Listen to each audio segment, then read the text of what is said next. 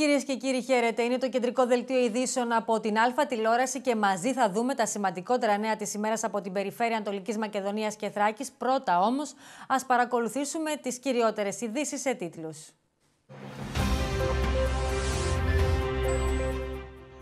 Αδελφοκτόνο εγκληματική και προδοτική χαρακτηρίζει τη στάση του Μητροπολίτη Δημοτήχου Δαμασκηνού, ο Μητροπόλητης Καλαβρίτων Αμβρόσιος. Ποιος είναι ο λόγος; Επίσκεψη στον νομό Ροδόπη έκανε ο αναπληρωτής Υπουργός Αγροτικής Ανάπτυξης και Τροφίμων Μάρκος Μπόλαρης. Τι είπε για το βαμβάκι; Στην Τουρκία εμφανίστηκε νέα νόσος στα εγωπρόβατα, οι πανόλοι μικρών μυρικαστικών. Οι κτηνιατρικές υπηρεσίες της Ανατολικής Μακεδονίας και Θράκης εφιστούν την προσοχή.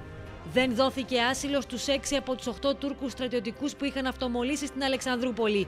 Ποια είναι τα επόμενα βήματα;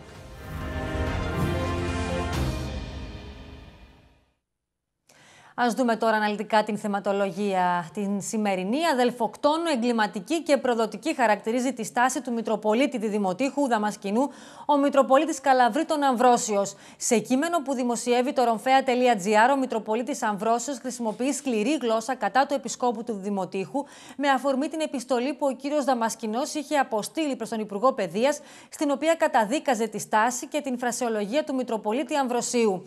Ο Μητροπολίτης Καλαβρίτων χαρακτηρίζει ως κεραυνό ενεθρία και μέγα τόπιμα την επιστολή του Μητροπολίτη Δημοτήχου, διερωτώμενος μήπως σε τέτοια χέρια το μέλλον της Εκκλησίας προμηνύεται ζωφερών.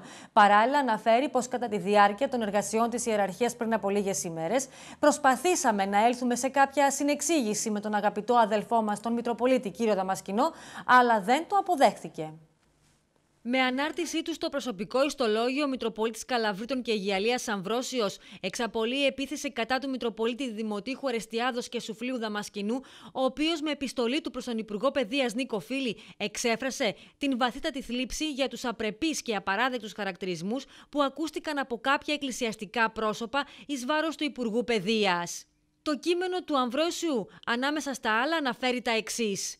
Ω κεραυνός ενεθρία ακούστηκε η είδηση ότι η Μητροπολίτης της Εκκλησίας της Ελλάδος απέστειλε προς τον Υπουργό της Παιδείας και πολέμιο της Εκκλησίας μας, κύριο Νικόλα Οφίλη, επιστολή, με την οποία του εκφράζει τη συμπάθειά του για τις επιθέσεις που δέχεται εξ στόματο κάποιων εκκλησιαστικών προσώπων, όπως γράφει και αναφέρεται σε κάποιους απρεπείς και απαράδεκτους χαρακτηρισμούς των προσώπων αυτών προς τον κύριο Υπουργό.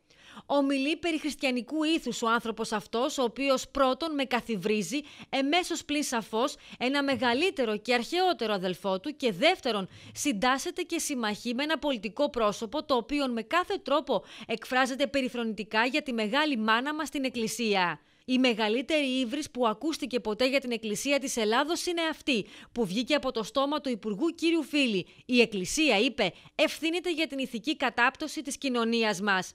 Προς τον κύριο Φίλη, λοιπόν, ο σεβασμιότατος αυτός Μητροπολίτης γράφει «Αγαπητέ κύριε Υπουργέ, με το θάρρος της παλιάς μας νοριμίας, σας εύχομαι ολόψυχα υγεία και δύναμη». Και προσθέτει «Σας αναμένω στο διδημότυχο». Ερωτώ λοιπόν τον σεβασμιότατον αδελφών μας μπροστά στα αυτά τα φοβερά λόγια τα οποία αναφερόμενος στους εχθρούς της πίστεώς μας είπε κατά την ώρα της χειροτονίας του. Μήπως τα ειδικά μου είναι πολύ ευγενικά; Τι είπα; Παχύ αγαστήρ λεπτών ου κτηνόα. Επικαλέστηκα δηλαδή ένα αρχαίο γνωμικό το οποίο ο Υπουργός δεν μπόρεσε να εξηγήσει.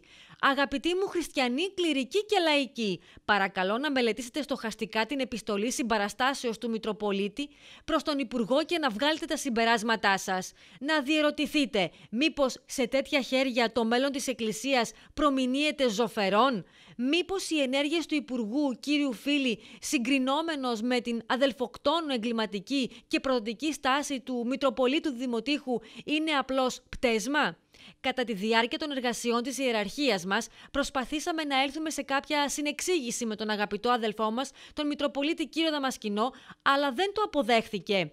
Ο κόπος μας απεδείχθη μάταιος, οπότε τώρα την τελική κρίση θα την κάνετε εσείς οι αναγνώστες μας.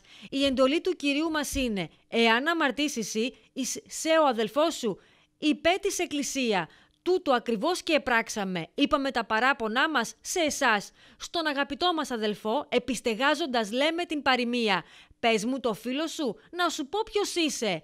Με μεγάλη έκπληξη επληροφορήθημεν το διάβημα ημών προς τον Υπουργό Παιδείας κύριο Νικόλα Οφίλιν προς έκφραση της συμπαθίας ημών και της τοργικής συμπαραστάσεως προς τον ταλέπορον αυτών άνθρωπων, τον διώκτην, της αμομή του ημών πίστεως, των ασεβέστατων και άκρος επικίνδυνων εχθρών της Εκκλησίας και οι κοσμικοί ακόμη κύκλοι της ελληνικής κοινωνίας έχουν απορρίψει των επικίνδυνων αυτών υπουργών.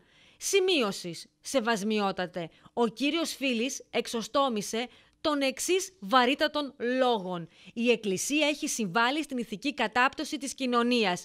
Σεις λοιπόν τον αμνηστεύετε, τον καλύπτετε, τον στηρίζετε. Έβγε αγαπητέ εν Χριστώ αδελφέ.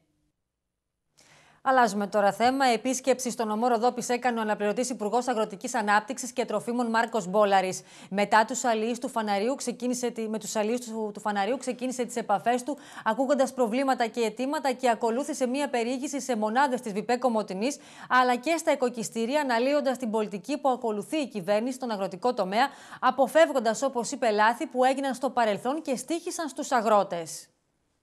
Η συλλογή του βαβακιού προχωρά με πολύ γρήγορου ρυθμούς. Ποτέ άλλοτε στις αρχές Οκτωβρίου δεν είχε μαζευτεί τόσο μεγάλο ποσοστό στη Θράκη. Όπως αναφέρει και η εφημερίδα της Κομωτινής, ο χρόνος, αυτό το πιστοποιεί ο όγκος εργασίας που λαμβάνει η χώρα στα θρακικά οικοκυστήρια στην βιομηχανική περιοχή της Κομωτινής. Αγροτικά μηχανήματα και φορτηγά έμφορτα με βαβάκια από όλη τη Θράκη καταφθάνουν στα οικοκυστήρια όπου γίνεται οργανωμένη δουλειά για την παραλαβή και αποθήκευσή του. Στα θρακικά οικοκυστήρια, ό,τι έχει παραλάβει η επιχείρηση έχει πληρωθεί μέχρι και το τελευταίο ευρώ καθώς και το σύνολο του ΦΠΑ. Ο Σταμάτης Κουρούδης, ο υπεύθυνος των οικοκυστηρίων, υποδέχτηκε στα οικοκυστήρια της ΒΠΕ Κομωτινής τον αναπληρωτή Υπουργό Αγροτικής Ανάπτυξης Μάρκο Μπόλαρη, ενημερώνοντάς τον για τη φετινή συγκομιδή σε βαβάκι, την ποιότητα αλλά και τις τιμές.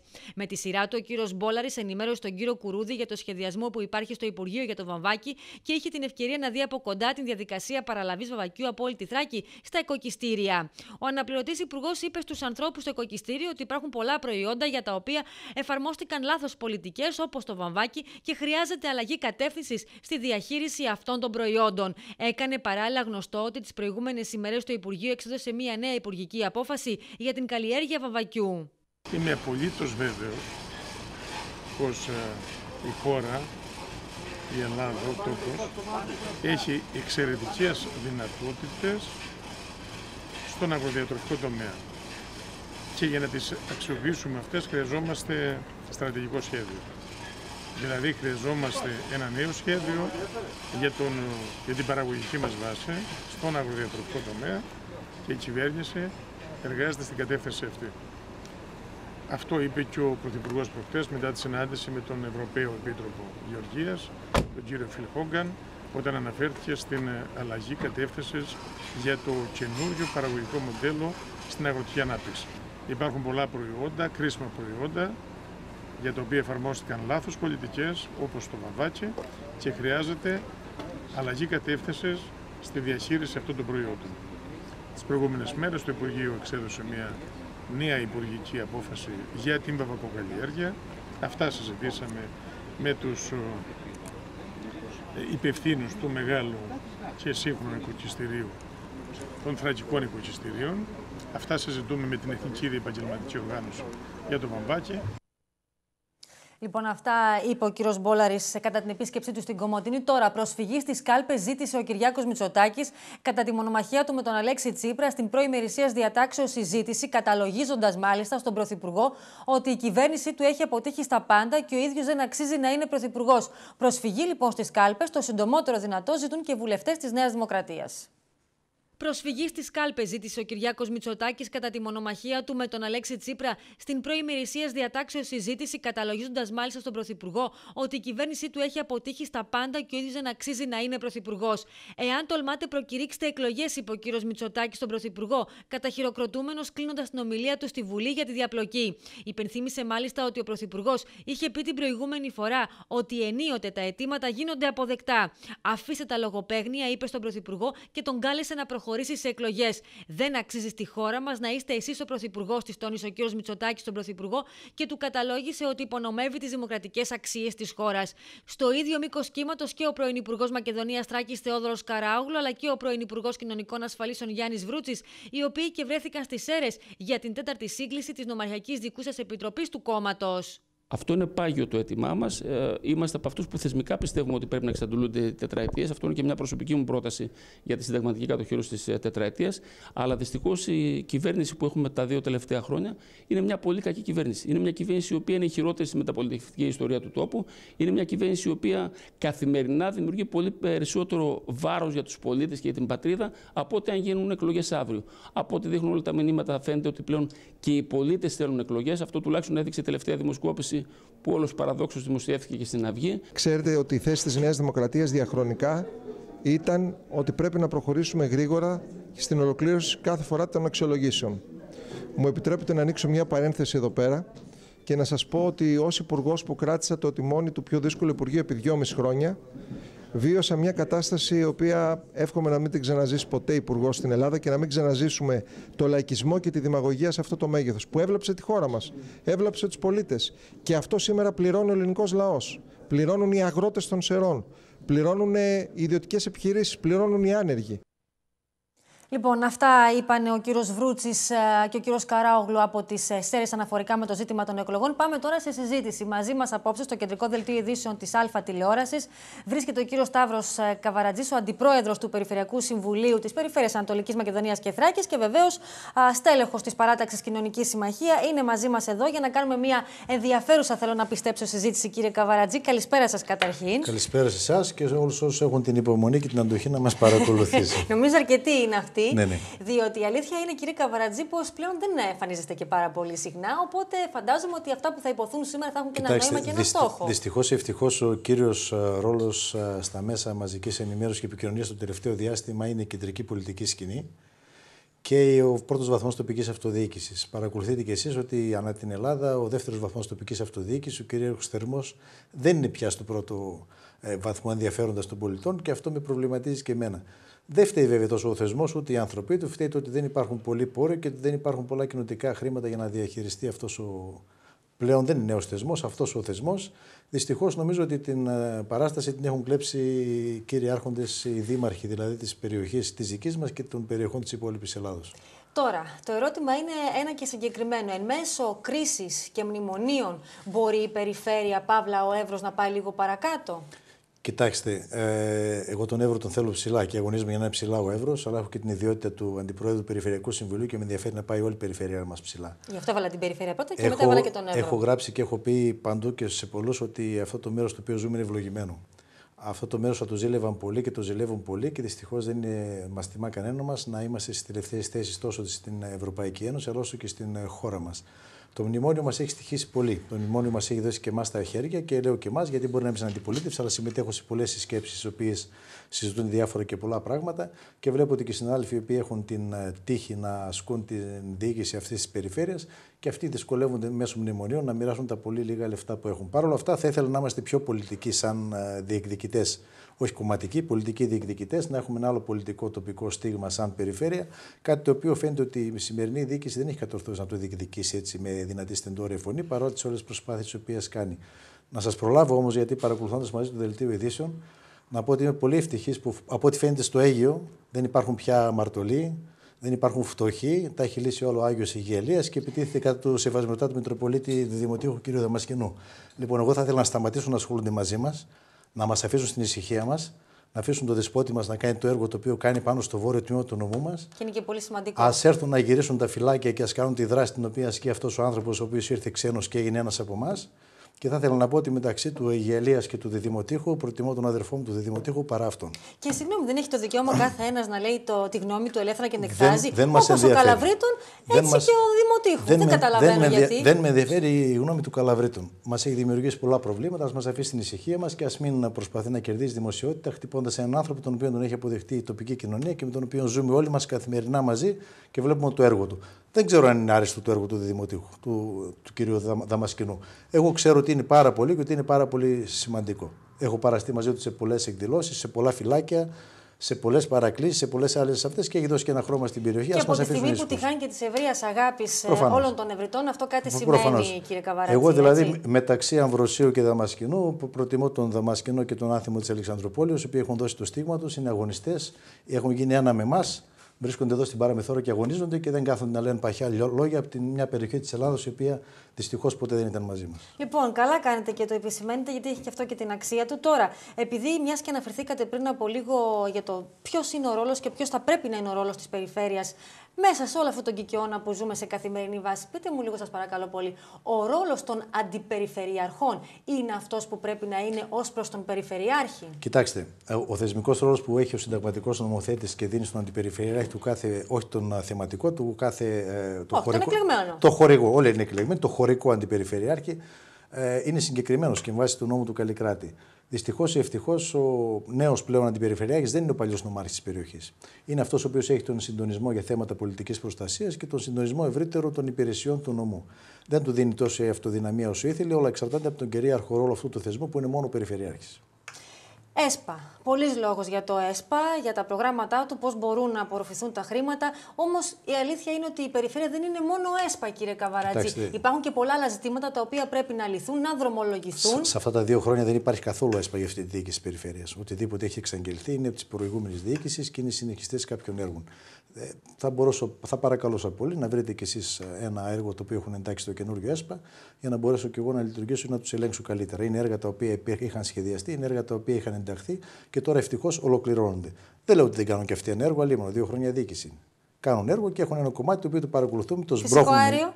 Αέριο. Το φυσικό αέριο είναι η ευλογία το οποίο περνάει έτσι από την είναι περιοχή. Είναι μια στρατηγική επιτυχία αυτή; Είναι και την παραδεχτήκαμε και στο Περιφερειακό Συμβούλιο. Αλλά για μένα είναι εν μέρη και αποτυχία. Γιατί μπορώ να χαρώ ότι η Καβάλα επιτέλους αποκτά φυσικό αέριο, αλλά δεν μπορώ να πω να χωριέμαι γιατί το σουφλί και το δημότυχο μείνει εκτός.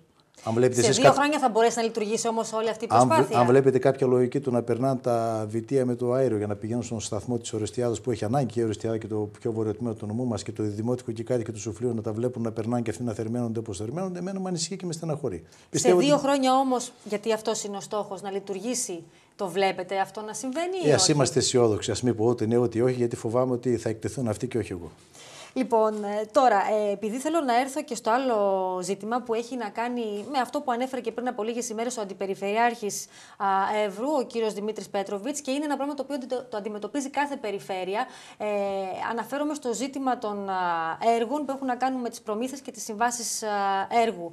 Εδώ μπαίνει ένας φραγμός, ένα εμπόδιο από την κεντρική εξουσία, από την κυβέρνηση, που ουσιαστικά λέει stop, αλλάζουμε τη διαδικασία, θα γίνεται διαφορετική αξιολόγηση των χρημάτων Platon Θέλω να το ακούσω και από εσάς. Ποιο είναι το δικό σας το σχόλιο; Θέλω να ξέρετε ότι συζητώ τακτικά με τον Αντιπεριφερειάρχη του Εύρου. Όπως συζητώ τακτικά και με τους άλλους Αντιπεριφερειάρχες των υπολείπων περιφερειακών διαμερισμάτων. Δεν μπήκε σε αμφισβήτηση ποτέ ότι δεν υπάρχει ποτέ, μια αγαστή ποτέ, συνεργασία ποτέ. με τον κύριο Πέτροβιτς; Όχι, το λέω για να μην δημιουργηθεί καν αυτό. Συζητάμε... Άλλωστε δεν είναι από αυτούς τους ανθρώπους ο κύριος Πέτροβιτς. Συζητάμε τακτικά. Ε, ασκώ το έργο του ελέγχου. Ε, Ευτυχώς έχει διάθεση να ακούσει και ακούει και νομίζω ότι έχουμε πετύχει πάρα πολλά πράγματα μαζί για αυτό το νόμο και για αυτή την περιοχή. Όπως και με τους άλλους συναδέλφους των άλλων περιφερειακών διαμερισμάτων. Γιατί ε, δυστυχώς ευτυχώς αναγκάζουμε να κινούμε και στους υπόλοιπους πρώην νομούς.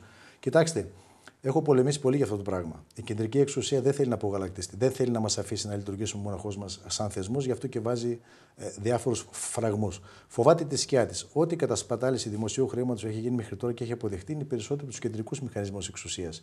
Οι τοπικοί μηχανισμοί εξουσίας έχουν και το τοπικό γνώρισμα. Είμαστε πολύ μικροί και είμαστε όλοι γνωστοί μεταξύ μας. Δεν έχουν να φοβηθούν τίποτα από αυτό το θεσμό του Καλλικράτη. Ο θεσμός του Καλλικράτη έχει ασφαλιστικές δικλείδες πολλές και καλύτερες από αυτές τις κεντρικές εξουσία. Το κάθε χρήμα το οποίο πρόκειται να διανεμηθεί από εδώ και πέρα από την μέρα που εφαρμόστηκε ο νόμος του Καλλικράτη, ελέγχεται από πολλές επιτροπές. Υπήρξα και το πρώτο μέλος της Οικονομικής Επιτροπής της πρώτης διοίκησης της Περιφέρειας. Ε, συμμετέχω και σε αυτές τις επιτροπές οι οποίες γίνονται τώρα. Υπάρχουν πολλές ασφαλιστικές δικλείδες και θα ήθελα να ξέρει ο κόσμος ότι κατά 99,9% δεν υπάρχει περίπτωση να διασπαθιστεί δημόσιο χρήμα σε αυτές τις δομές λειτουργίας της νέας ε, ε, Περιφερειακής Αρχής και της προηγούμενης. Και αυτό βάζω το χέρι μου στη φωτιά. Αλλά είναι κρίμα να μην μας αφήνουν ή τους αφήνουν αυτοί που ασκούν τη διοίκηση να λειτουργήσουν και πιο ελεύθερα. Τώρα εδώ όπω τα αναχώματα που πρέπει να γίνουν, που μπαίνουμε στο χειμώνα ε, και να μην μπορείτε να τα κάνετε. Κοιτάξτε, δηλαδή... ε, το, το, έργο των αναχωμάτων υπάρχει και μια σχετική καθυστέρηση και από τη διοίκηση και από τις υπηρεσίες. Θα ήθελα να είναι πολύ πιο γρήγορος γιατί και τώρα υπάρχουν ορισμένα δυνάμει κενά. Αλλά ε, είναι, όπως λέτε, έχουμε προτείνει πολλές λύσεις. Γι' αυτό θα ήθελα την διοίκηση της περιφέρειας να είναι πιο διεκδικητική. Νομίζω ότι είμαστε πολύ ευγενικοί απέναντι στην κεντρική διοίκηση. Θεωρείτε δηλαδή ότι θα έπρεπε να ασκήσει πιέσει με διαφορετικό τρόπο; Εγώ θα έλεγα ότι αν ήμασταν Κρήτη, δεν θα είχαμε αυτή τη στιγμή ούτε έναν άχωμα το οποίο δεν θα είναι 100% έτοιμο.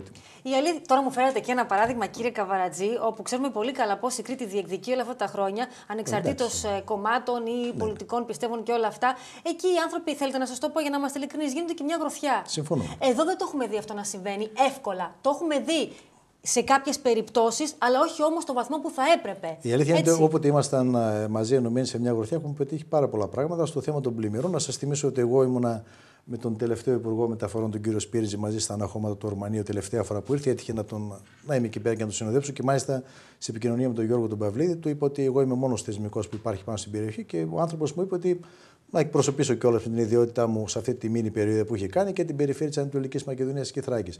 Και συζητήσαμε και διεκδικήσαμε. Από εκεί και πέρα νομίζω ότι κάτι έχει κάνει και αυτή η διοίκηση, αλλά τους θέλω πιο ζωηρούς και πιο ζωντανούς. Εμείς είμαστε εδώ κοντά τους και τους το έχουμε δηλώσει ότι οπουδήποτε νομίζουν ότι μπορούμε να βάλουμε το χέρι μας, είμαστε εδώ πέρα. Αλλά έχει την δημορφία αυτή η ε, διοίκηση περιφέρειας ότι ο κυβερνός ε, συνδυασμός τόσο του ΣΥΡΙΖΑ όσο και των ανεξαρτήτων Ελλήνων δεν είναι ούτε το νούμερο 1 το νούμερο 2 στην περιοχή μας, είναι το νούμερο 3 και το νούμερο 5. Ίσως αυτό έχει να κάνει να, σχέση με το ότι δεν υπάρχουν έτσι έτοιμες γραμμές επικοινωνίας. Εγώ διατηρώ προσωπική φιλία με τον πρώην συναδελφό μου του Περιφερειακού Συμβούλου, τον κύριο Κουίκ. Έχουμε ανοιχτή γραμμή επικοινωνίας και με αυτόν και μπορούμε όσοι προσπαθούμε να περάσουμε όλοι μέσω του κυρίου Κουίκ, του Υπουργού Η αλήθεια είναι ότι ο κύριος Κουίκ έχει δείξει εμπράκτο το ενδιαφέρον. Προφανώς γι' αυτό. Και, κάθε λίγο και λιγάκι. Εγώ, χαριτολογώντας, του είπα προσφάτως ότι ε, δεν παίρνετε και ένα σπίτι να μείνετε εδώ πέρα στην ναι, Εθνική μας δεν τελειώνει η δουλειά. Υπάρχει, υπάρχει, υπάρχει ανοιχτή γραμμή, αλλά επιμένω ότι πρέπει και κάποτε να χτυπάμε και κανένα χέρι στο τραπέζι. Δεν είναι κακό ενδεχομένως να χρειάζεται. Ναι. Και το έχουμε δει ότι συμβαίνει να υπάρχει και το επιθυμητό αποτέλεσμα. Να σας θυμίσω ότι ακόμα είναι οι εξαγγελίες για αυτή την περίφημη υπηρεσία που θα γινόταν για τη διαχείριση των φραγμάτων και των υδάτων και των νερών. Δεν έχει γίνει ιστορία. Είναι από το παρελθόν, από, τα από τις προηγούμενες κυβέρνησεις, για να είμαστε δίκαιοι. Βαρεθήκαμε να τα λέμε. Ε, Ευτυχώς που φέτος μας πήγε πολύ καλά μεγάλο το καλοκαίρι, έκανε πολύ καλό καιρό, ήρθε πολύ τουρισμό στην περιοχή μας. Είμαστε ευλογημένος τόπος. Ε, να πούμε δυστυχώς ότι οι παραγωγές μας από ό,τι φαίνεται δεν είναι τόσο καλές όσο έπρεπε να είναι. Το εργοστάσιο Ζαχάριος δεν είναι η ναυαρχίδα πλέον αυτή που έπρεπε να είναι στην περιοχή. Έχουμε διάφορα κενά. Μας έχουν απομονώσει το τρένο. Το τρένο δεν συνδέει πια όλες τις πόλεις της περιφέρειάς μας. Εντάξει, έχουμε προβλήματα. Είμαστε εδώ πέρα, τα παρακολουθούμε, τα καταγράφουμε. Ξέρουμε το τι μπορούν να κάνουν και το τι δεν μπορούν να κάνουν. Απλώς έτσι τους, το λέω και κατηδίαν ότι θα τους ήθελα πιο ζωηρούς. Μάλιστα. Το κρατώ αυτό και το σημειώνω που λέτε. Και θέλω ένα τελευταίο σχόλιο. Επειδή πριν από λίγο χρονικό διάστημα είχατε αναφερθεί στο να αλλάξει έμβλημα σήμα η περιφέρεια. Ναι. Ε, είναι εκεί της Αμοθράκης, έτσι. Τώρα δεν ξέρω αυτή η υπόθεση που βρίσκεται, σας άκουσε, κανένας δεν σας άκουσε. Έχει τη σημασία του κι αυτό, κύριε Καβαρατζή. Έχει μεγάλη σημασία να ξέρετε ότι δεν μας Θα μου πείτε τώρα, δεν... τα λύσαμε όλα τα προβλήματα, να πάμε και στο δεν... έμβλημα, στο σήμα. Αλλά... Δεν μας αγαπάνε όλοι στην περιφέρεια. Μπορεί να είμαστε πέντε περιφερειακές ενότητες, αλλά δεν μας αγαπάνε όλοι. Κάθε περιοχή έχει τις τοπικές ιδιαιτερότητες. Γιατί το λέτε αυτό, Έχετε δει έτσι αντιδράσεις οι οποίες δεν θα ήταν ε, Φυσικά, προς την κατεύθυνση που θα έπρεπε; Όπως οσμίζεστε κι εσείς, ε, το να πάρουμε την νίκη της Αμοθράκης σαν έμβλημα και να το έχει η περιφέρειά μας θα ενοχλήσει κάποιους άλλους νομούς οι οποίοι θα ήθελαν κάποιο δικό τους ε, σηματοδότηση να δώσουν ένα άλλο χρώμα στην περιοχή. Αντιλαμβάνεστε κι εσείς γιατί είστε χρόνια στην πιάτσα δημοσιογραφική και έξυπνη κοπέλα ότι έχει πολλαπλασιαστικά ωφέλη το να φαίνεται παντού το σήμα της νίκης ε, μας όταν ε, φαίνεται η Σαμοθράκη. Είναι ένα από τα μεγαλύτερα brand name ε, που μπορεί να υπάρχουν ποτέ. Εν πάση περιπτώσει, επειδή αυτή τη στιγμή η περιφέρεια και ο ίδιος περιφερειάρχης αντιμετωπίζει ένα προσωπικό πρόβλημα υγείας και του εύχομαι ταχύ ανάρρωση και να επιστρέψει γρήγορα στα καθήκοντά του, δεν θα το σηκώσω τώρα ξανά το θέμα, παρόλο που ήταν υποχρέωση συμβατική του Περιφερειακού Συμβουλίου να συζητηθεί σε επόμενη συνεδρίαση. Έχουμε καιρό να, να τα πούμε, θα επιστρέψουμε το καλό στα καθήκοντά του και νομίζω ότι θα, θα ξανατεθεί σε καινούργια βάση. Αλλά εκεί θα ήθελα και τη συνδρομή την έχω ζητήσει όλων των φορέων και των παραγόντων της περιοχής, έτσι ώστε στην συνεδρίαση που Οι θα γίνει. Οι οποίοι είναι θετικά προσκύμενοι. Της περιοχής μας, ναι και των Αλλά υπόλοιπων που έχετε κάνει κάποιες επαφές Οι υπόλοιποι που δεν μας αγαπάνε και πάρα πολύ, σας πληροφορώ ότι δεν είναι πάρα πολύ θετικοί και γι' αυτό θα έχει πολύ ενδιαφέρον εκείνη η συζήτηση του Περιφερειακού Συμβούλου. Μάλιστα. Λοιπόν, κύριε Καβαρατζή, σας ευχαριστώ θερμά για την παρουσία σας. Εγώ σας ευχαριστώ για την πρώτη πρόσκληση στο τόσο ωραίο στούντιο Και σύντομα θα κάνουμε και άλλες μεγαλύτερες κουβέντες με ανάλογες εκπομπές. Και με τον κύριο Φώτη Καραλίδη, σαφέστατα τον επικεφαλής της παράταξης, γιατί θα έχει επίσης ενδιαφέρον να ακούσουμε ε, και από τον ίδιο. Έχετε τακτικά στην περιοχή μας το Εύρο, να το αναφέρουμε αυτό. Παρακολουθούμε από κοντά. Και σίγουρα έχει καταγράψει, γιατί ξέρω προσφάτως τον άκουσα να κάνει και κάποιες δηλώσεις για τα αγροτικά ζητήματα που αφορούν στην περιοχή μας. Θα έχει ενδιαφέρον τον Πάρα να ακούσουμε εξειδικευμένες Πάρα πολύ. προτάσεις. Είμαστε στη διάθεσή σας και θα σας καλούσα να έρθετε και σε μια συνεδρία του Περιφερειακού Συμβουλίου να την παρακολουθήσετε. Που πάντα από έχει κοντά. πολύ ενδιαφέρον. Και με κάμερα και να πάρετε και τα Έτσι. παραλυπόμενα για να πάρει και λίγο ο κόσμος. Παρόλο που να τους πω ότι με την συνδρομή και την προσπάθεια του νυν Προέδρου του κ. Αντωνιάδη, έχουμε κατορθώσει να ε, μεταδίδεται πλέον διαδικτυακά η συνεδρία του Περιφερειακού Συμβουλίου. Αλλά λάτε και εσείς εμείς εκεί παίρνουμε πέρα κομμάτια από εκεί, έχετε να δίκιο. μεταδώσετε και τον παλμό που υπάρχει στον κόσμο, γιατί είναι συνεδριάσεις του ε, μείζωνο ε, δημοκρατικού θεσμού της περιοχής μας. Είναι το μήνυ κοινοβούλιο της Τώρα περιοχής μου μας, το οποίο ανοίγεται έχει ένα πάρα θέμα πολύ που ενδιαφέρον. δεν θέλω να το ανοίξω, γιατί Καλώς. πράγμα, όχι, έχει Εγώ να κάνει έχω- γενικά με εγώ τις έχω συνε- πολλή ώρα, δεν ξέρω γενικά, εσείς αν ε, έχετε Εγώ ώρα. δεν έχω πολύ, Το αλλά ξέρω. ξέρετε τι γίνεται κύριε Καβαρατζή, οι συνεδριάσεις των Δημοτικών Συμβουλίων και των Περιφερειακών Συμβουλίων θα έπρεπε να γίνεται με τη συμμετοχή του κόσμου. Όχι ότι είναι κλειστές, ανοιχτές Είναι ω άνοιχτε ανοιχτές, είναι. βέβαια. Ο κόσμος δεν έρχεται. Και από εκεί ξεκινάνε πολλά κακά, αν θέλετε, για το τι ακριβώς Ο συμβαίνει. κόσμος έρχεται, αλλά δυστυχώς έρχεται όταν, Όχι, δεν ο- έρχεται όταν, αυτός που όταν, θα έπρεπε. όταν πρόκειται να πάρουν μια συγκεκριμένη απόφαση και έρχονται εκεί να Δεν υποστηρίξουν έρχεται το ο δίκαιο του κόσμος άδικο που θα αιτήματος. έπρεπε στο βαθμό που θα έπρεπε να Συμφωνώ. είναι παρόν ο κόσμος, Συμφωνώ, κύριε συμφωνώ. Καβαρατζή, για να ξέρει τι του γίνεται, Θα, έτσι. θα ανοίξουμε και τη συνεδριάση του Περιφερειακού Συμβουλίου. Είναι Μεγάλο επόμενος κομμάτι στόχος. κι αυτό. Είναι επόμενος στόχος. Θα πάμε και στη Δράμα, θα πάμε και στη Θάσο, θα έρθουμε και στα μέρη μας. Έτσι είναι και ένα δικό μου όρομα την προηγούμενη διοίκηση ότι πλέον πρέπει να φύγουμε από τα στενά όρια της Κομωτινής. Αρχίζει και στενεύει η Κομωτινή σαν Σακάη και σαν Κουστούμι. Να βγούμε και προς τα έξω λίγο. Να δουν και οι υπόλοιποι συνάδελφοι το τι ακριβώς, για το τι ακριβώς. Ότι συμβαίνει και με την ΠΕ δεν ολίγης. Σωστό. Έτσι. Σωστό. Ε, για την ΠΕΔ που λέτε, ένας κύριος θεσμός ο οποίος λειτουργεί στην περιοχή μας είναι ο κύριος Λαμπάκης, είναι και η ΠΕΔ και νομίζω ότι αυτό είναι μια σοβαρή ισορροπία στην εκπροσώπησή μας προς το μεγάλο κέντρο λήψεως αποφάσεως στην Αθήνα. Σας ευχαριστώ Εγώ θερμά. σας ευχαριστώ. Καλή συνέχεια. Να είστε καλά. Πάμε τώρα να δούμε ακόμη ένα θέμα. Φαίνεται πως δεν προχωρά το σχέδιο συγχώνευσης της Τράπεζας Θεσσαλίας με τα αντίστοιχα συνεταιριστικά ιδρύματα Πιερία, Δράμας και Εύρου. Η νέα εξέλιξη, αν τελικώς οριστικοποιηθεί, δημιουργεί μεγάλο πονοκέφαλο στη διοίκηση της Θεσσαλικής Τράπεζας, καθώς ο προσετερισμός των τριών μικρότερων τραπεζών φάνταζε για την ίδια ως μία διέξοδο στο σημερινό άνυδρο οικονομικό περιβάλλον. Φαίνεται πως να βαγεί το σχέδιο συγχώνευσης της Τράπεζας Θεσσαλίας με τα αντίστοιχα συνεταιριστικά ιδρύματα Πιερίας, Δράμας και Εύρου. Η νέα εξέλιξη, αν τελικώς οριστικοποιηθεί, δημιουργεί μεγάλο πονοκέφαλο στη διοίκηση της Θεσσαλικής Τράπεζας, καθώς ο προσετερισμός των τριών μικρότερων τραπεζών φάνταζε για την ίδια ως μία διέξοδο στο σημερινό άνυδρο οικονομικό περιβάλλον. Ω βασικότερη αιτία του ναυαγίου λέγεται ότι είναι οι αντιδράσεις των μετοχών των τριών βορειολαδίτικων τραπεζών, οι οποίοι θεωρούν ότι χάνεται ο συνεταιριστικός χαρακτήρας των δικών τους ιδρυμάτων μέσα από μια ετεροβαρή συγχώνευση, καθώς η Τράπεζα Θεσσαλίας εκ των πραγμάτων θα είχε ηγεμονικό ρόλο. Ένα επιπλέον εμπόδιο είναι η δυσκολία εξασφάλισης ρευστού με αύξηση κεφαλαίου, προπόθεση βασική για τη συμμετοχή της κάθε ενδιαφερόμενης τράπεζας στο νέο σχήμα. Τούτων δοθέντων, η Τράπεζα Θεσσαλίας καλείται να προκηρύξει άμεσα εκλογές, καθώς η θητεία της παρούσας διοίκησης, η οποία είναι διορισμένη για δεύτερη συνεχόμενη φορά από το Πρωτοδικείο Τρικάλων, λύγει τον επόμενο μήνα. Λοιπόν, επιστρέφουμε στο δελτίο μας και σε συζήτηση θα πάμε και πάλι. Ο πρόεδρος του κινήματος Νέα Πορεία Νέα Ελλάδα, ο κύριος Γιάννος Γραμματίδης, θα είναι αύριο στην Αλεξανδρούπολη. Θα έχει σειρά συναντήσεων με τοπικούς παράγοντες από κάθε πεδίο της τοπικής κοινωνίας, προκειμένου να ενημερωθεί για ζητήματα αλλά και προβλήματα που αντιμετωπίζει η περιοχή, αλλά και να συζητήσει για τις προοπτικές που υπάρχουν ακόμη και μέσα στο τρέχον εξαιρετικά δύσκολο περιβάλλον. Πάμε τώρα λοιπόν να συνδεθούμε μαζί του μέσω Skype. Ο κύριος Γιάννος Γραμματίδης θα είναι κοντά μας σε πολύ λίγο. Θα τον καλησπερίσω κιόλας. Κύριε Γραμματίδη, καλησπέρα σας. Καλησπέρα, καλησπέρα κυρία Πασκάκη σε όλους. Σας ευχαριστώ που σήμερα είσαστε κοντά μας, διότι όπως είπα αύριο θα είστε και με τη φυσική παρουσία σας κοντά μας στην Αλεξανδρούπολη. Λοιπόν, πείτε μου σας παρακαλώ πάρα πολύ, ποιες είναι τελικά οι προτάσεις της νέας πορείας για μια νέα Ελλάδα; Ε, είναι ό,τι δεν έχει ακουστεί μέχρι σήμερα με αλήθεια και σοβαρότητα. Δηλαδή, Δηλαδή, είναι προτάσεις οι οποίες κατά βάση και πρωτίστως αφορούν την διευθέτηση του δημόσιου χρέους, κάτι για το οποίο εμείς παλεύουμε στη Ουάσιγκτον, στο Διεθνές Νομισματικό Ταμείο, αλλά και στις Βρυξέλλες. Αμέσως, αμέσως κατά προτεραιότητα είναι ε, η παροχή μέτρων σοκ στην κοινωνία και την επιχειρηματικότητα. Δηλαδή, για να σας δώσω ένα απλό παράδειγμα, όταν μιλάμε για μέτρα σοκ, εμείς μιλάμε για φορολογικούς συντελεστές για τον πρώτο χρόνο 20% και από τον δεύτερο και μετά 12,5% και εκεί τελειώνουμε. 12,5% για επιχειρήσεις αλλά και για πολίτες. Ε, αυτό βέβαια μαζί με όλα τα, τα άλλα κίνητρα που έχουμε στο πρόγραμμά μας όπως παραδείγματος χάρη μηδέν φορολογικό συντελεστή για πέντε χρόνια για καινούριε νεοφυείς επιχειρήσεις οι οποίες βρίσκονται στον χώρο της υψηλής τεχνολογίας και υπό την προϋπόθεση ότι θα φέρουν ε, εργατικά χέρια. Το ίδιο για τον επαναπατρισμό 0 έως 5 χρόνια. 0%.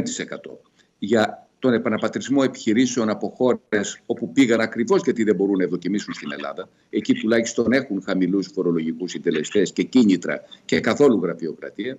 Παράλληλα, άμεση ανατροπή του νόμου Κατρούγκαλου και επαναφορά των συντάξεων στο πρώτο του 2012 επίπεδο, διότι αυτό ε, είναι απολύτως απαραίτητο για να ξαναφτιάξουμε, να φτιάξουμε κοινωνικές αδικίες και παράλληλα μέσα σε ένα χρονικό διάστημα δύο ετών και στα πλαίσια ενός καινούριου διαλόγου με όλες τις τάξεις. Όχι με το αποφασίζουμε και διατάζουμε του κυρίου Κατρούκαλου και της κυβέρνησης ΣΥΡΙΖΑ ΑΝΕΛ.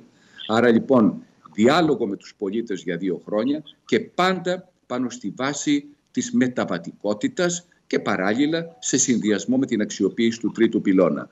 Αυτά είναι απλά ενδεικτικά μέτρα. Υπάρχουν κι άλλα πολλά, αλλά θα τα πούμε και από κοντά. Είναι απλά, όπως λέτε, ενδεικτικά μέτρα τα οποία προτείνει το κόμμα σας, αλλά η αλήθεια είναι η εξής. Και φαντάζομαι αυτό θα σας το θέσουν και από κοντά οι πολίτες οι οποίοι θα έρθουν να σας δουν, να σας ακούσουν, να ενημερωθούν για τους στόχους και τις ε, προτεραιότητές σας. Πώς μπορούν αυτά πραγματικά να γίνουν υλοποιήσιμα από τη στιγμή που ήδη έχουν ψηφιστεί, έχουν συμφωνηθεί με τους θεσμούς και θα πρέπει να γίνουν; Δηλαδή, αντιλαμβάνεστε ότι όλα αυτά ακούγονται, όπως είπα, πολύ ωραία, αλλά λίγο ουτοπικά. Έτσι, έτσι. Χαίρομαι που το λέτε. Χαίρομαι που το λέτε. Και χαίρομαι που μου βάζετε την ερώτηση. Κοιτάξτε, μιλάμε για ένα τρίτο μνημόνιο. Την αυθεντικότητα, αλλά και αν θέλετε την ωφελημότητα του οποίου εμείς βάσιμα αμφισβητούμε. Το μνημόσυνο, αυτό, το, αυτό είναι μνημόσυνο της οικονομίας μας στην πραγματικότητα. Αυτό το μνημόνιο δεν απετέλεσε αντικείμενο διαπραγμάτευσης, όπως θα μου επιτρέψετε να σας πω ότι δεν απετέλεσαν και στο παρελθόν ε, αντικείμενα διαπραγμάτευσης το πρώτο και το δεύτερο μνημόνιο. Προσχωρήσαμε σε συμφωνίες χωρίς καν να διαπραγματευτούμε και βεβαίως θυσιάσαμε τα συνήθεια υποζύγια, συνταξιούχους, μισθωτούς, την επιχειρηματικότητα, τους θυσιάσαμε όλους στο βωμό της δημοσιονομικής ισορροπίας και τι άλλο στον βωμό του ότι δεν θα έπρεπε να θίξουμε τα κομματικά μας παιδιά μέσα στο δημόσιο που πρέπει να το κρατήσουμε αλόβητο. Άρα, εγώ αυτό το μνημόνιο δεν το αναγνωρίζω, κυρία Πασκάκη. Εγώ εκείνο το οποίο λέω προς τους δανειστές και το έχω πει στην κυρία Μπελκουλέσκου, στον κύριο Τόμσεν, τα έχω πει ε, στις Βρυξέλλες κατ' επανάληψη στους θεσμούς, ότι δηλαδή εμείς Βεβαίως και είμαστε εναντίον ενός μνημονίου το οποίο αποτελεί την ταφόπλακα της ελληνικής οικονομίας. Αλλά είμαστε εδώ να προτείνουμε ένα άλλο μείγμα μέτρων. Μέτρα των οποίων θα πρέπει οπωσδήποτε να προηγηθεί η αναδιάρθρωση του ελληνικού χρέους. Γιατί το λέμε αυτό; Διότι αν έχουμε να πληρώσουμε 51 δις μέχρι το 2022 προκειμένου να εξυπηρετήσουμε το κοχρεολύσια που πρέπει να καταβάλουμε στους δανειστές, επιτρέψτε μου να πω ότι αυτά τα χρήματα ούτε υπάρχουν ούτε μπορούν να υπάρχουν. Τι χρειαζόμαστε λοιπόν; Χρειαζόμαστε πρώτα την αναδιάρθρωση του χρέους, αυτό πάνω στο οποίο επιμένει το Διεθνές Νομισματικό ναι, Ταμείο. Και αν μου επιτρέπετε... Από την άλλη μεριά, κύριε Πρόεδρε, επιτρέψτε μου να πω, λέει ότι για το χρέος κάνουμε συζήτηση από το 18 και βλέπουμε. Από την άλλη, φυσικά, για να είμαστε δίκαιοι, ο κύριος Μοσκοβισή λέει ότι πρέπει αυτό το ζήτημα να έχει λυθεί τώρα, στο τέλος του 2016. Άρα λοιπόν τι λείπει; Εκείνο το οποίο λείπει είναι ικανή ελληνική ηγεσία προκειμένου να διαπραγματευτεί με τους θεσμούς ηγεσία η οποία να προέρχεται από τεχνοκράτες, ηγεσία η οποία να έχει νοπή λαϊκή βούληση, λαϊκή θέληση και από την άλλη πλευρά μια τεχνοκρατική ηγεσία την οποία να υποστηρίζουν και να σέβονται και να εκτιμούν οι ευρωπαϊκοί και οι αμερικανικοί θεσμοί. Αυτό δεν υπάρχει σήμερα. Εδώ έχουμε ένα τσίρκο. Έχουμε μια οπερέτα. Έχουμε μια κυβέρνηση η οποία δεν γνωρίζει τι της γίνεται, ε, παραχωρεί το μέγιστο μέρος της εθνικής μας κυριαρχίας μέσα από ατέρμονες συζητήσεις, ταπεινωτικές συζητήσεις μέσα στα σαλόνια του Χίλτον. Αυτό λέγεται ελληνική ηγεσία. Βεβαίως και όχι. Είμαστε παγιδευμένοι σε μια παγίδα στην οποία πέσαμε μόνοι μας. Και τώρα, θα απαντήσω, και τώρα θα απαντήσω και το κέριο ερώτημά σας για το τι μπορεί να γίνει πάνω σε αυτό ε, θα μου επιτρέψετε να πω ότι η μόνη λύση σήμερα είναι μια κυβέρνηση εθνικής σωτηρίας. υπό την αιγίδα, αν θέλετε, υπό την πρωτοβουλία του Προέδρου της Δημοκρατίας, ο οποίος πρέπει να αναλάβει τις ευθύνες του. Μια κυβέρνηση εθνικής σωτηρίας, όπου θα υπάρχουν παραγωγικά υπουργεία, τεχνοκράτες, οι οποίοι να έχουν το δικαίωμα αλλά και την κοινοβουλευτική εξουσιοδότηση, δηλαδή να στηρίζονται από τα υπόλοιπα κόμματα, ούτως ώστε και να σχεδιάζουν, αλλά και να υλοποιούν την επαναδιαπραγμάτευση του μνημονίου. Και βεβαίως τότε καταλαβαίνετε ότι θα έχουν απέναντί τους οι θεσμοί μια στιβαρή, αλλά και μια κυβέρνηση που ξέρει τι της γίνεται, μια κυβέρνηση η οποία στηρίζεται επάνω σε επιχειρηματολογία, που στηρίζεται επάνω στην λογική όχι των αριθμητικών ισοδυνάμων, δηλαδή χάνω πέντε από εκεί, θα τα κερδίσω από αλλού και από ποιον άλλον, από τον συνταξιούχο, από τον μισθωτό, από τον επιχειρηματία. Όχι. Αυτή είναι η λογική των αριθμητικών ισοδυνάμων. Είναι στήρα λογική. Εμείς εκείνο το οποίο λέμε είναι ότι θέλουμε μια λογική των δυναμικών ισοδυνάμων. Δώσε κίνητρα στην οικονομία για να ξεκινήσει. Δεν καταλαβαίνει κανείς τους. Και πολύ φοβάμαι ότι δεν βλέπει κανείς ότι η οικονομία είναι νεκρή. Πάρτε την περιοχή σας, κυρία Πασκάλη. Εδώ ανοίγεται μεγάλη κουβέντα. Δεν βλέπει κανείς ή δεν θέλει να δει κανείς ότι η οικονομία είναι νεκρή; Είναι μεγάλο το ζήτημα αυτό, κύριε Γραμματίδη. Ε, επειδή έχουμε μόνο δύο λεπτάκια ακόμα στη διάθεσή μας, θέλω δύο ερωτήσεις να σας κάνω, αλλά παρακαλώ σύντομη απάντηση για να μας λυθεί και αυτή η απορία σε σχέση με το, με το τι εσείς βλέπετε και σκέφτεστε γενικότερα. Εκλογές πρόορε. Πιστεύετε ότι ε, αυτό το σενάριο είναι ορατό; Ναι, ναι, ε, δεν είναι ορατό σήμερα, εκτός και αν ξεμείνουν από λεφτά, ε, πράγμα το οποίο το αμφισβητώ, διότι έχουν βρει οι θεσμοί ε, μια εύκολη κυβέρνηση και περνούν μέτρα. Επομένως, με την έννοια αυτή. Που είναι πάνω να... το κεφάλι μας και παραμονεύει ενδεχομένως να φέρει πρόορες εκλογές, ε, κύριε Πρόεδρε. Το βλέπω σχεδόν απίθανο. Εκείνο που βλέπω είναι ότι αυτοί οι άνθρωποι αδίστακτα θα παραμείνουν στην εξουσία μέχρι το 2019 ότι το μόνο πράγμα που ενδιαφέρονται δεν είμαι εγώ, δεν είναι εσείς, και ο μισθωτό είναι η καρέκλα και το αξίωμα που εκτύχεις κατέλαβα. Ο κόφτης είναι ένα μνημόνιο τέταρτο, μιας και πρέπει να πούμε στο σημείο αυτό στους τηλεθεατές μας ότι ε, ο κόφτης που μπορεί να συνεπάγεται με μνημόνιο τέταρτο θα είναι για τα επόμενα 19 χρόνια πάνω από το κεφάλι της οποιαδήποτε κυβέρνησης. Το ξέρετε αυτό, έτσι; Αν ενεργοποιηθεί, τέλειωσε για τα επόμενα 19 χρόνια. Μα αν μου επιτρέπετε, ο κόφτης είναι δεδομένο. Δεν πιάνουμε τους στόχους. Πράγμα το οποίο σημαίνει ότι αυτό θα μπορούσε να είναι το κύκνιο άσμα για την κυβέρνηση. Τώρα, εάν θα είναι το τέταρτο μνημόνιο ή όχι, ε, θα μπορούσε να είναι, αλλά το ερώτημα εκεί είναι ποιος πρόκειται να το διαπραγματευτεί. Αν είναι αυτή η άσχετη η κυβέρνηση των ασχέτων και όχι μόνο των ασχέτων αλλά και των σφαγέων της κοινωνίας και της επιχειρηματικότητας. Αν είναι αυτοί να διαπραγματευτούν το τέταρτο μνημόνιο, τότε θα μου επιτρέψετε να σας πω ότι δεν έχουμε κανείς θέση στην Ελλάδα γιατί δεν έχουμε μέλλον. Εάν υπάρχει μια λύση σαν και αυτή που σας είπα, τότε να έχουμε ένα τέταρτο μνημόνιο. Εγώ δεν έχω αντίρρηση για ένα τέταρτο μνημόνιο, αλλά όχι να κόφτη με ένα άλλο μείγμα μέτρων που θα μπορέσει τον συνταξιούχο να τον κάνει καταναλωτή και πάλι, το ίδιο και τον μισθωτή και παράλληλα να δώσει δύναμη στις τοπικές κοινωνίες, να δώσει έναν ενθουσιασμό και μια αισιοδοξία, γιατί η οικονομία, ξέρετε, κατά βάση είναι αισιοδοξία, ούτως ώστε να μπορέσουμε να περάσουμε τον, ε, ε, ε, το δύσκολο δρόμο. Πείτε μου σας παρακαλώ πολύ και με αυτό θα κλείσουμε. Τι ώρα και πού αύριο; Αύριο νομίζω είναι 6.30 η ώρα και είναι στο, αν δεν απατώμε, σε ένα σε, σε τόπο ο οποίος έχει καθοριστεί από τα στελέχη της ε, Νέας Πορείας Νέας Ελλάδα, όπου θα δούμε τους παραγωγικούς φορείς. Ε, επιτρέψτε να μην γνωρίζω ακριβώς το μέρος, την Αλεξανδρού που την ξέρω, αλλά δεν γνωρίζω το μέρος. Εκείνο το οποίο ξέρω όμως είναι ότι αρχίζουν από το πρωί οι επαφές μου με τους τοπικούς φορείς ε, και πιστεύω ότι, ε, εκτός από τα μέσα μαζικής ενημέρωσης, πιστεύω ότι η συζήτηση θα συνεχιστεί το απόγευμα και μάλιστα τονίζω συζήτηση διότι εμείς δεν κάνουμε μονόλογο, εμείς απλά παραθέτουμε θέσεις και ανοίγουμε τον διάλογο με τους πολίτες, ώστε όλοι να εκφραστούν.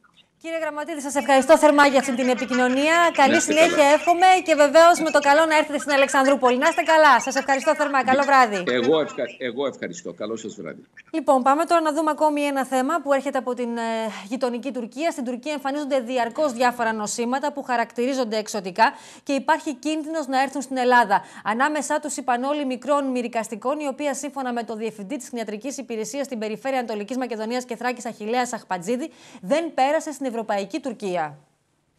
Στην Τουρκία εμφανίζονται διαρκώς διάφορα νοσήματα που χαρακτηρίζονται εξωτικά και υπάρχει κίνδυνος να έρθουν στην Ελλάδα. Ανάμεσά τους είπαν όλοι μικρών μυρικαστικών, η οποία σύμφωνα με το Διευθυντή Κτηνιατρικής Υπηρεσίας στην περιφέρεια Ανατολικής Μακεδονίας και Θράκης, Αχηλέα Αχπατζίδη, δεν πέρασε στην Ευρωπαϊκή Τουρκία. Οφείλουμε όμως, σαν περιφέρεια, να προετοιμαστούμε για να μην περάσει το νόσημα στη χώρα, αλλά ακόμη κι αν περάσει να αντιμετωπιστεί σύμφωνα με τα πρότυπα της οζόδους δερματίτιδα, σημείωσε στο ύπεθρο.gr ο κ. Αχπατζίδης. Είπαν όλοι προσβάλλει τις και τα πρόβατα είναι υποχρεωτικής δήλωσης και δεν έχει εμφανιστεί ποτέ μέχρι τώρα στην Ελλάδα. Προσβάλλει μεγάλο αριθμό ζώων στο κοπάδι, προκαλώντας θανάτους και μεταδίδεται ταχύτατα. Προς το παρόν δεν επιτρέπονται εμβολιασμοί λόγω απόφασης της Ευρωπαϊκής Ένωσης.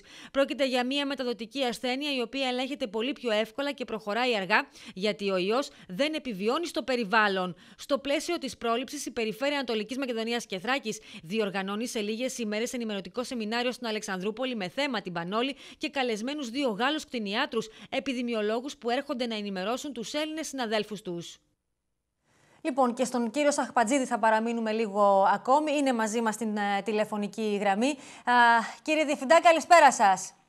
Καλησπέρα σας, καλησπέρα και εσάς και στους κρατέ σας. Λοιπόν, νέα απειλή από την ε, Τουρκία. Δεν ξέρω κατά πόσο πρέπει να ανησυχούμε, αλλά σίγουρα αυτό που ξέρω είναι ότι θα πρέπει να είμαστε σε επαγρύπνηση, κύριε Σαχπατζίδη. Ασφαλώς, ασφαλώς. Ε, έχουμε και παλαιότερα πει ότι ζούμε σε μια περιοχή ιδιαίτερη, με ιδιαίτερα προβλήματα, ιδιαίτερα σύνορα, οπότε εκ των πραγμάτων από καιρό σε καιρό θα εμφανίζονται τέτοια νοσήματα. Και εμείς αυτό που έχουμε να κάνουμε είναι να μάθουμε να ζούμε με αυτό και προπαντός να προετοιμαζόμαστε ώστε εάν και εφόσον εμφανιστεί το νόσημα να πάρουν όλα τα εκείνα τα απαραίτητα μέτρα για να ελαχιστοποιήσουμε ώστε να μηδενίσουμε τις επιπτώσεις του.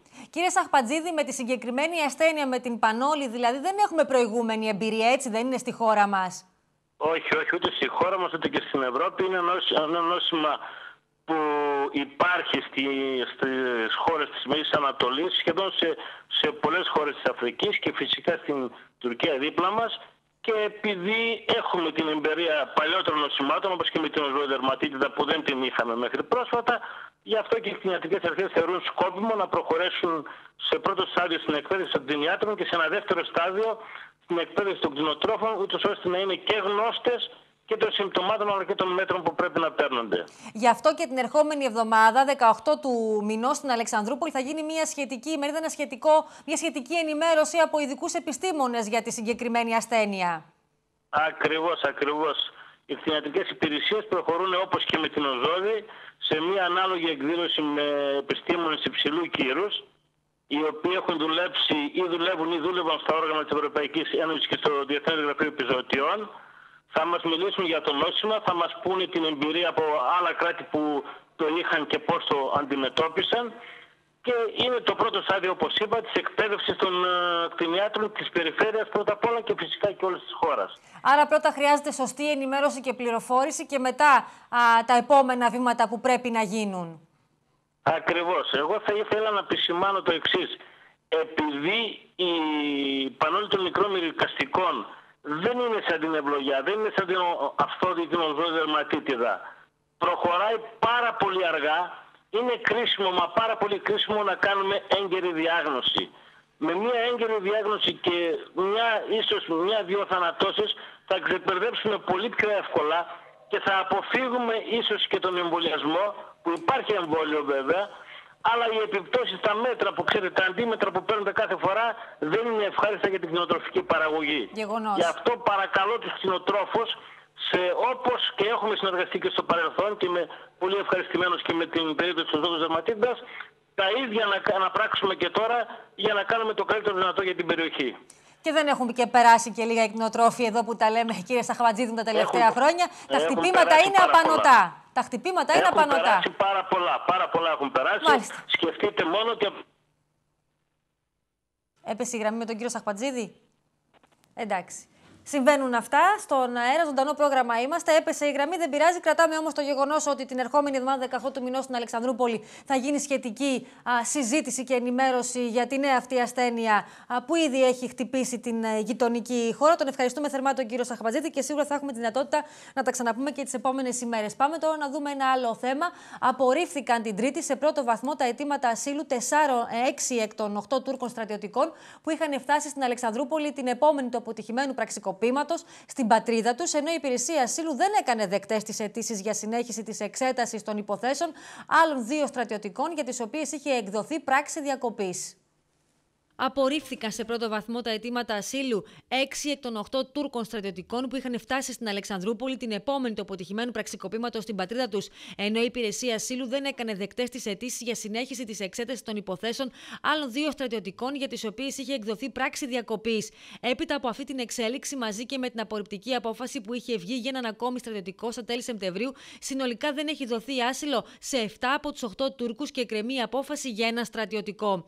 Η δικηγόρος του Σταυρούλα Τομαρά ανέφερε ότι θα ακολουθηθεί ό,τι προβλέπεται από την νομοθεσία για εξέταση των υποθέσεών τους σε δεύτερο βαθμό. Σε ανακοίνωσή τους μέσω της δικηγόρου τους, οι Τούρκοι στρατιωτικοί αναφέρουν: Είμαστε έκπληκτοι με τις αποφάσεις της Υπηρεσίας Ασύλου που εκτός του ότι απορρίπτουν το δίκαιο αίτημα ασύλου μας, μας αποδίδουν το βαρύτατο χαρακτηρισμό του τρομοκράτη, ο οποίος όχι μόνο δεν τεκμέρεται από κανένα γεγονός, αλλά δεν μας έχουν κατηγορήσει ως τρομοκράτες ούτε μέσα στη χώρα μας. Ελπίζουμε η ελληνική κυβέρνηση να λάβει σοβαρά υπόψη της τη στάση των άλλων πέντε κρατών κρατών μελών της Ευρωπαϊκής Ένωσης που έθεσαν σε καθεστώς διεθνούς προστασίας τους Τούρκους αξιωματικούς που ζήτησαν άσυλο στις επικράτειές τους μετά το πραξικόπημα. Τώρα το 15% των θέσεων στο δημόσιο που προκυρήσονται από το ΑΣΕΠ θα καλύπτονται αποκλειστικά από άτομα με αναπηρία, προανήγγειλε ο Πρωθυπουργός Αλέξης Τσίπρας, όπως ανακοίνωσε από το βήμα της Βουλής στην ειδική εκδήλωση που έγινε για την απόδοση τιμή στα μέλη της Ελληνικής Εθνικής Αποστολής στους Παραλυμπιακούς Αγώνες του Ρίου. Α δούμε στο σημείο αυτό τι μας είπε ο πρόεδρος του Αθλητικού Συλλόγου Ατόμων με Αναπηρία, ο Κότινος, ο κύριος Γιάννης Τοπτσή. Επειδή δεν έχω ακριβή εικόνα το τι είπε, ε, πιστεύω ότι εννοούσε μάλλον για τις προσλήψεις στο δημόσιο. Αφού προσλήψεις στο δημόσιο πλέον δεν γίνονται. Ε, όσο αφορά το στον ιδιωτικό τομέα, ο 2643 εδώ και πολλά χρόνια ουσιαστικά είναι ανενεργός. Είναι ο νόμος που καλύπτει τόσο τα άτομα με αναπηρία όσο και τους γονείς που έχουν παιδάκια με αναπηρία. Δυστυχώς και στις καλές εποχές, να το πω έτσι, της Ελλάδας, ο νόμος αυτός είχε αρχίσει τουλάχιστον εδώ και 10 χρόνια να παραπέει, να μην ισχύει. Ε, οπότε κρατάμε τις επιφυλάξεις μας. Και αφού το είπε και ο Γιώργος ο Φουντουλάκης, που καταλαβαίνετε ότι προέρχεται και εκείνος από αυτό το χώρο, πάντα να κρατάμε ε, μια μικρή πισινή. Ε... Βέβαια, εγώ θα πω και το άλλο. Έπρεπε να φτάσουμε μία μέρα σαν την προχθεσινή που έγινε αυτή πολύ ωραία ειδική τιμητική εκδήλωση για τους αθλητές, για τους παραολυμπιονίκες μας. να φτάσουμε ε, να το ακούσουμε στο και πέντε. Δεν θα έπρεπε η ελληνική πολιτεία χρόνια πριν, αν θέλετε, ε, να έχει προνοήσει και για να, να έχει φροντίσει να το, να το κάνει όμως πράξη αυτό, ακόμη και το 2-3% που υπήρχε τα προηγούμενα χρόνια μέχρι και σήμερα δηλαδή, να εφαρμόζεται και στον δημόσιο και στον ιδιωτικό τομέα. Η χώρα μας δυστυχώς ε, περνάει μια τρομερή κρίση και γι' αυτό το πράγμα δεν φταίει ο λαός. Αν αρχίσει και, να, και έρθει επιτέλους αυτή η περίφημη ανάπτυξη και στον ιδιωτικό τομέα, γιατί από εκεί πρέπει να ξεκινήσουμε. Το δημόσιο πρέπει να, πλέον να είναι ε, κάτι συγκεκριμένο. Στον ιδιωτικό τομέα, αν στηριχθεί η πρωτοβουλία αυτή, πιστεύω ότι πολλές επιχειρήσεις θα πάρουν και άτομα με αναπηρία ή τους επαναλαμβάνουν τους γονείς των παιδιών αυτών.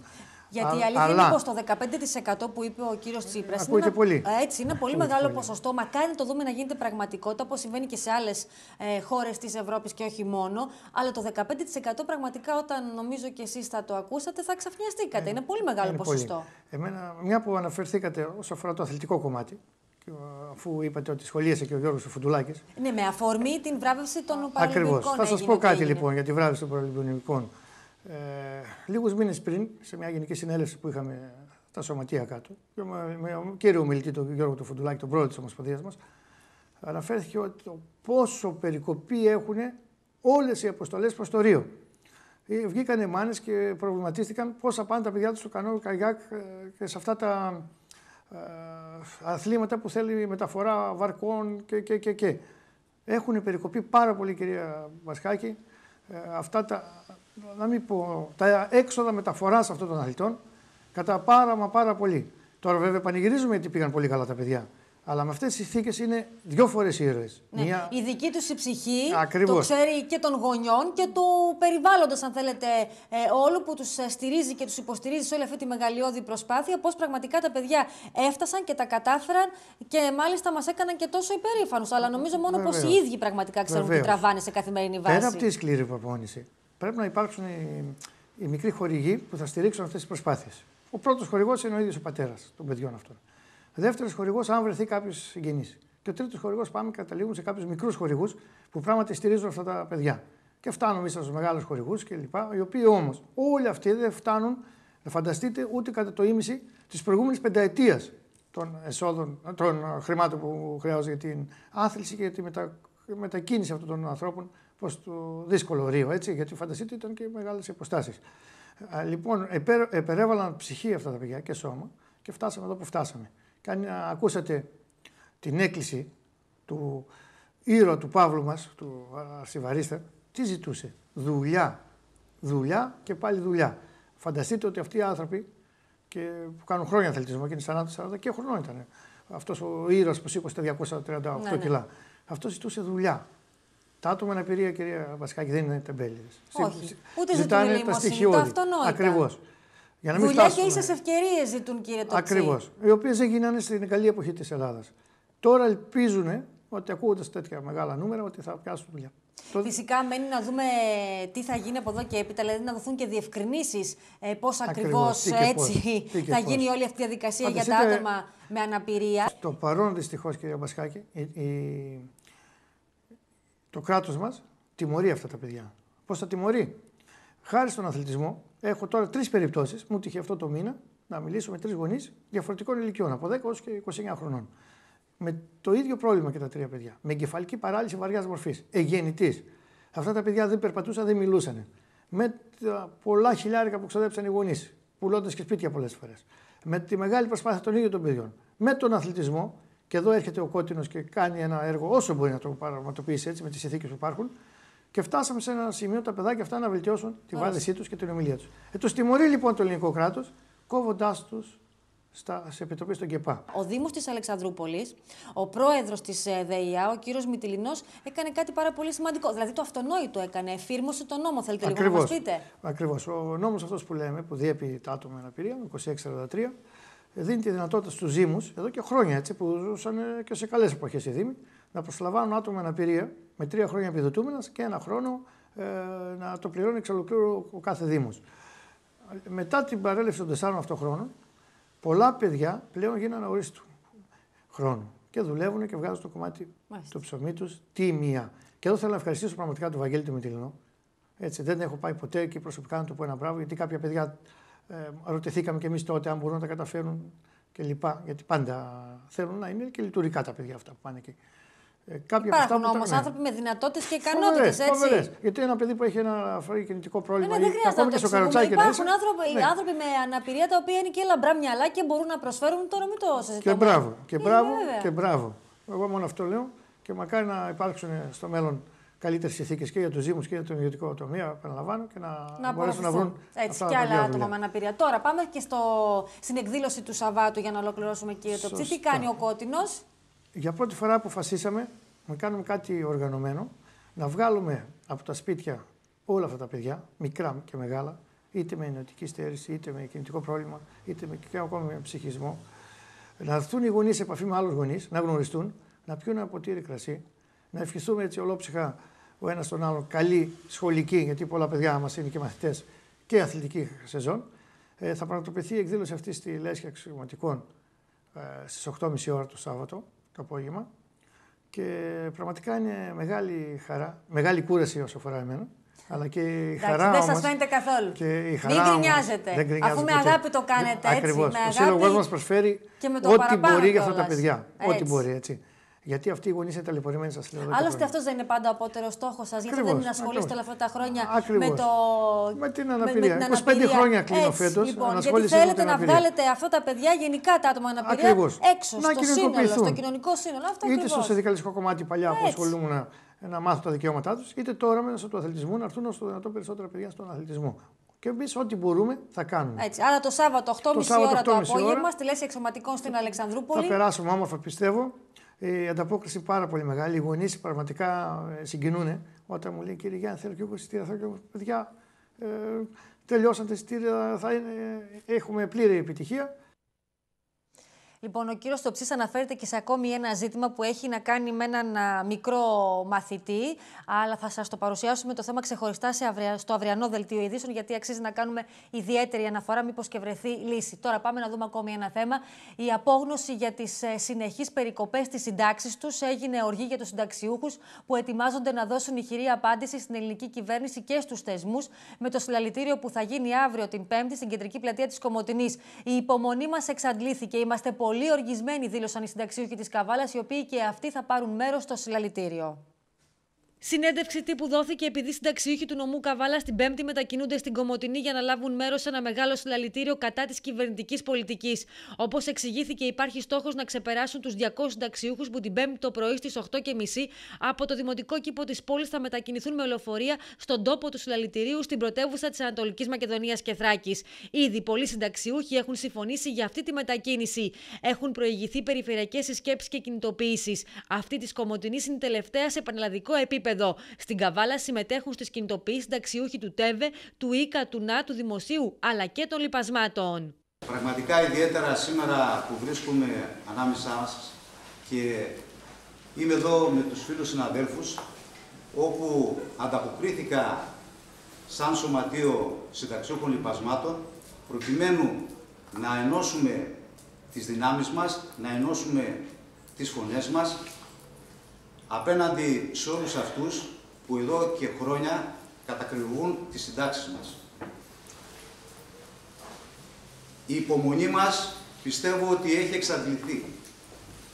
Ε, πιστεύω ότι όλοι λέγαμε ότι κάποτε αυτό θα σταματήσει για το καλό της χώρας, άντε και εμείς να βάλουμε λίγο πλάτη.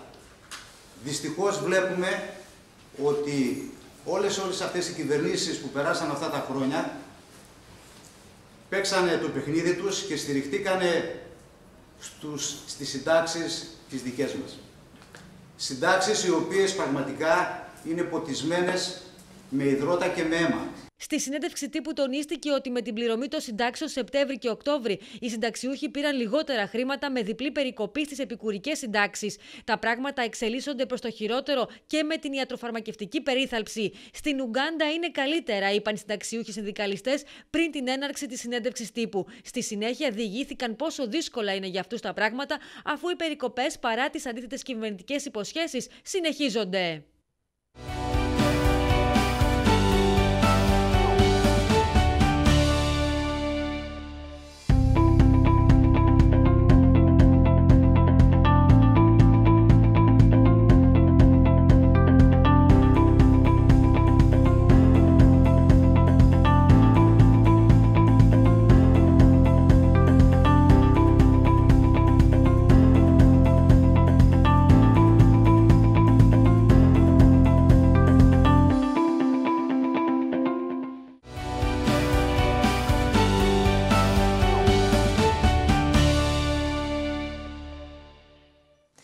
Κυρίες και κύριοι, στο σημείο αυτό ολοκληρώθηκε η ενημέρωσή σας από την Α Τηλεόραση. Σας ευχαριστούμε πολύ που μας παρακολουθήσατε. Καλό σας βράδυ.